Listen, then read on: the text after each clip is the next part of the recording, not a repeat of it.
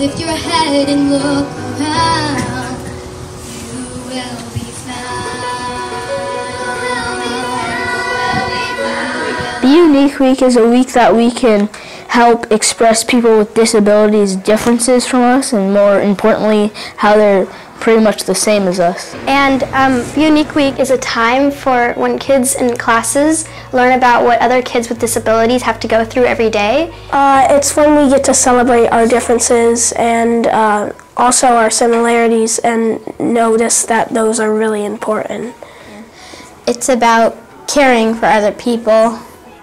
I think Be Unique Week is important so that we can teach our students that we all have different areas of strengths or needs. We all have obstacles that we need to overcome, and we all have different areas where we could really use the help of our friends and our peers.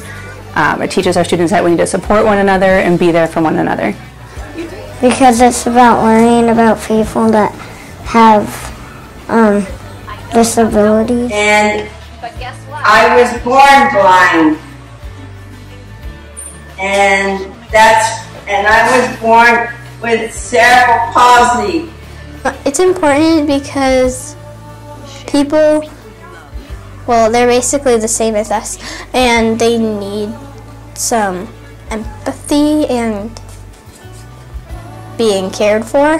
So, if I can work out and build a strong body, why can't I do something about my speech, about my hearing?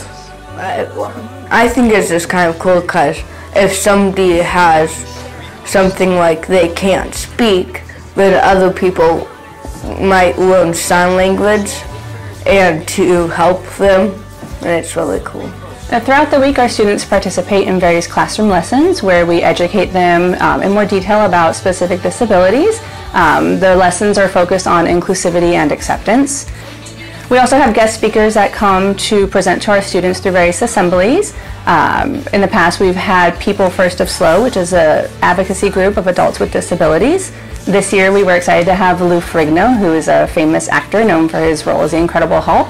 Uh, he came to speak about uh, growing up with a disability with his deafness and how he overcame those obstacles uh, to be successful. It's just a lot more friendly campus after Be Unique Week. Each grade level focuses on a different disability area where they get to learn a little bit more about what it might be like to have a disability. Students experience deafness and hard of hearing, physical and mobility impairments, fine motor impairments, sensory impairments, autism, and communication impairments. It's about learning how other people have to face their daily stuff harder than you do. So like maybe getting your back, like getting your books out of your backpack could be harder for someone else, but it could be easier for you because you don't have to go through what they do. You sit in a wheelchair, you're not allowed to use your legs and you have to try and push around and get through some cones to um, try and get to the other side, which is what we thought was hard and difficult. And then we, when you think about it, people go through this every day. And I realized that people with autism like have it's really hard for them and I have more empathy for them now.